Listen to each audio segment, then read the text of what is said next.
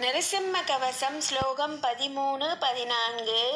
மத்தியம் பாது ஹிரண்யாட்ச வக்ஷ குஷி விதாரணக. நாபிம் மே பாது நுரஹரி ஸ்வநாபி பிரம்ம சம்ஸ்துதக.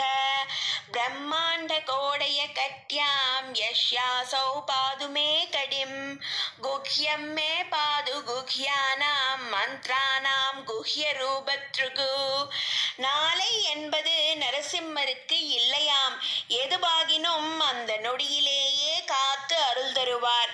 ஹிரண்யகசிபுவை எப்படி நின் நகங்களால் கிழித்து வதம் செய்து குடலை மாலையாய் போட்டுக்கொண்டாயோ அவன் கொடியவன்.